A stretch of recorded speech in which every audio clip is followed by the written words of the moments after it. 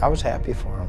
I didn't know oil rigs were dangerous. It changed my whole life, every aspect.